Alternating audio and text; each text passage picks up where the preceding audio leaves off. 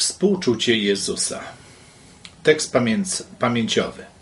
Widząc, lud użalił się nad nim, gdyż był utrudzony i opuszczony jak owce, które nie mają pasterza. Ewangelia Mateusza, 9 rozdział, 36 wiersz. W Ewangelii Mateusza, 9 rozdział, 35 wiersz czytamy, że Jezus obchodził miasta i wioski Palestyny, gdzie zwiastował Ewangelię o Królestwie i uzdrawiał wszelką chorobę i wszelką niemoc.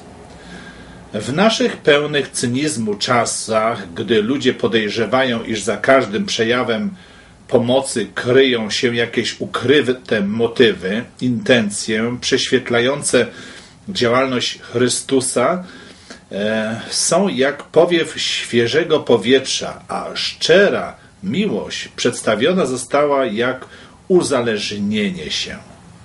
Mistrz naprawdę był poruszony losem ludzi i żywił wobec nich serdeczne uczucia.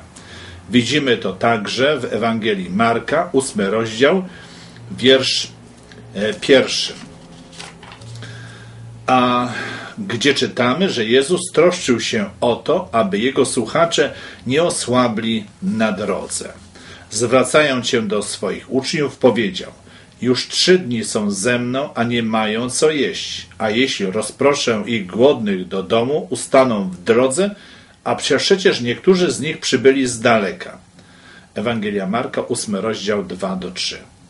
Ta czuła troska wiele mówi o Chrystusie. Znał tych, którzy przychodzili go słuchać. Współczuł im w ich potrzebach. Odczuwał ich trudy, jednak nam nie nakazuje byśmy byli dokładnie tacy jak On i czynili dokładnie to, co On czynił i dokładnie tak, jak On to czynił.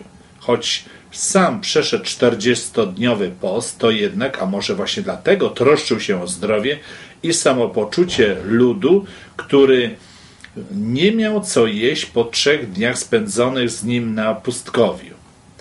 O takim e, miłosiernym współczuciu Jezusa, przejawiającym się w życiu jednostek całego narodu, będziemy mówić w bieżącej lekcji. Współczucie okazane cudzołożnicy. Przeczytaj sprawozdanie o przyłapanej na cudzołóstwie e, kobiety, choć Ellen White wyjaśnia, że została ona sprowokowana to jednak jej wina była oczywista. W jaki sposób potraktował ją Jezus? Czego możemy się nauczyć z tego zdarzenia? A Jezus udał się na górę oliwną i znów rano zjawił się w świątyni i cały lud przyszedł do niego i usiadł i nauczał ich. Potem uczeni w piśmie i faryzeusze przyprowadzili kobietę przyłapaną na cudzołóstwie, postano, postawili ją pośrodku i rzekli do niego Nauczycielu, tę oto kobietę przyłapano na jawnym cudzołóstwie. Mojżesz w zaka zakonie kazał nam takie kamienować. Ty zaś co mówisz? A to mówili kusząc go, by mieć powód do oskarżenia go. A Jezus schyliwszy się, pisał palcem po ziemi.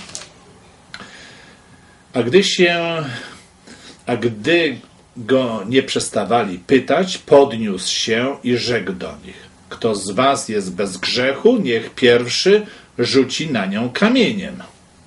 I znów schyliwszy się i pisał po ziemi. A gdy oni to usłyszeli, sumienie ich ruszyło, wychodzili jeden za drugim, a poczynając od najstarszego i pozostał Jezus sam i owa kobieta pośrodku. A Jezus podniósł się i nie widząc nikogo, tylko kobietę, rzekł jej, kobieto, gdzież są ci, co cię oskarżali? Nikt cię nie potępił? A ona odpowiedziała, nikt, panie. Wtedy rzekł Jezus, i ja cię nie potępiam. Idź i odtąd już nie grzesz. E, w tym akcie darowania kobiecie winy i zachęcenia jej do lepszego życia, charakter Jezusa ukazał się w pięknej, doskonałej sprawiedliwości. Nie usprawiedliwia on grzechu, ani nie pomniejsza znaczenia winy. Nie dąży do potępienia, lecz do wybaczenia. Świat miał dla tej zbłąkanej kobiety jedynie pogardę i potępienie. Jezus zaś znalazł dla niej słowa pocieszenia i nadziei. Sam bezgrzeszny litował się nad słabością grzeszników i wyciągał ku nich swą pomocną dłoń. Ta, gdy obudni, tam, gdy obudni faryzeusze nie znaleźli nic innego poza pogróżkami, Jezus rzekł do niej: Idź i odtąd już nie grzesz. Jakież współczucie, jakąż delikatność i miłość okazał Jezus. Od tamtej pory oskarżyciel kobiety unikali jej, gdyż nie byli pewni, co na temat ich ukrytych grzechów przeczytała tamtego ranka na posadzce świątynnego dziedzińca. W jaki sposób e, Chrystus okazał litość nawet e, obłudnikom, którzy przyprowadzili do niego tę kobietę, aby wciągnąć go w pułapkę? Gdy uważnie przeczytasz to sprawozdanie, możesz dostrzec współczucie Jezusa w, nawet wobec tych, którzy żywili takie zamiary. Gdyby tylko ich serca były tak otwarte na miłosierdzie Chrystusa, jak serce owej kobiety. Jak zachowałby się w podobnej sytuacji typowy zbór adwentystyczny? W jaki sposób możemy pogodzić wierność wysokim standardom moralnym ze współczuciem wobec upadających?